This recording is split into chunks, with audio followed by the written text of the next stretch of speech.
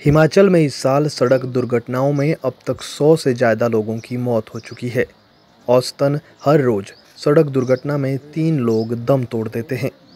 सड़क दुर्घटनाओं में चंबा ज़िला भी पीछे नहीं है। यहाँ के दुर्गम क्षेत्रों में आए दिन सड़क दुर्घटनाएँ पेश आती है। आज खडामुख होली मार्ग पर घिरडू मोड़ के पास एक कार रावी नदी में गिर गई।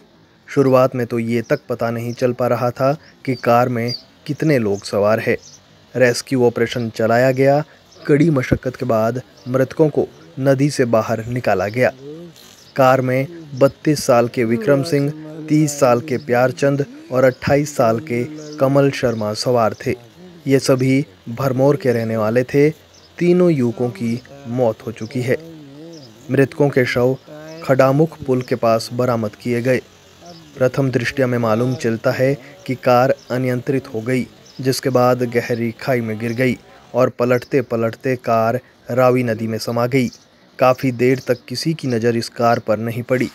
कुछ देर बाद कार को नदी में देख कुछ लोगों ने पुलिस को सूचना दी, जिसके बाद रेस्क्यू ऑपरेशन शुरू किया गया।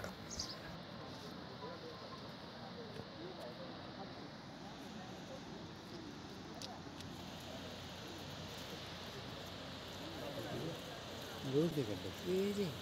सामने टायर। टायर में हम्म, टायर तो हो जाता है। अब देना वो बाहर के हाँ हाँ है हेलो।